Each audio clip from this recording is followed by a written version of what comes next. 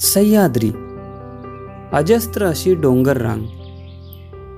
आणि याच डोंगर रांगेत व त्याच्या पायथ्याला असणारी दाट व गर्द झाडी.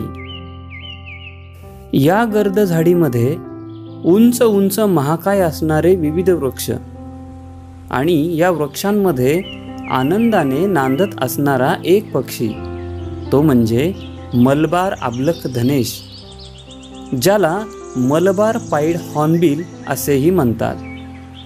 जवळपास ब्याण्णव सेमी लांबीचा हा पक्षी थव्याने वास्तव्य करतो. या पक्षाची चोच मोठी असते.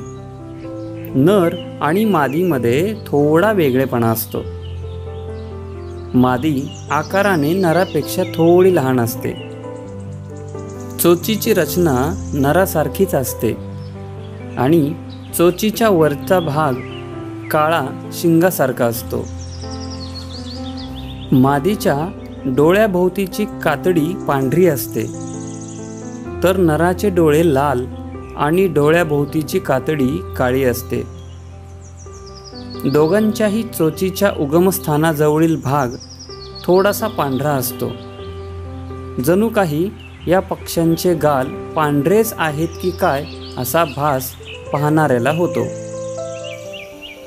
पंखांचा रंग काळा असतो तर छाती व पाय पांढऱ्या रंगाचे असतात.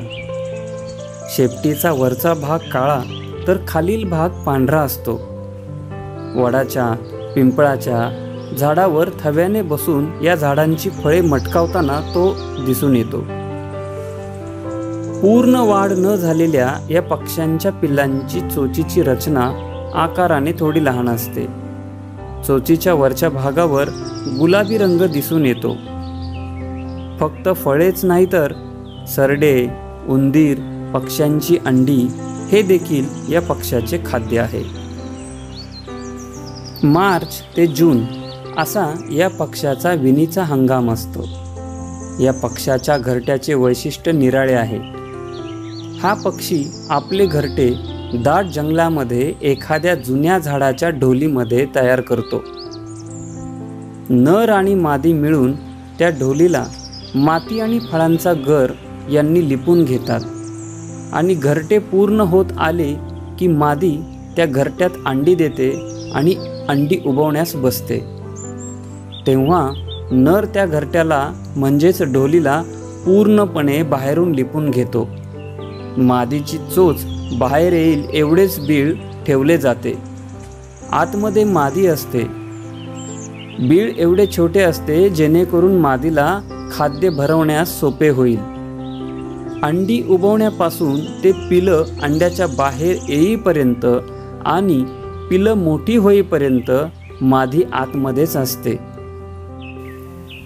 नर पक्षी पिलांना व मादीला खाद्य पुरवठा करण्यासाठी विविध फळे सरडे पाली उंदीर हे खाद्य सतत आणताना दिसून येतो. आणि हळूहळू पिल्लं मोठी होतात.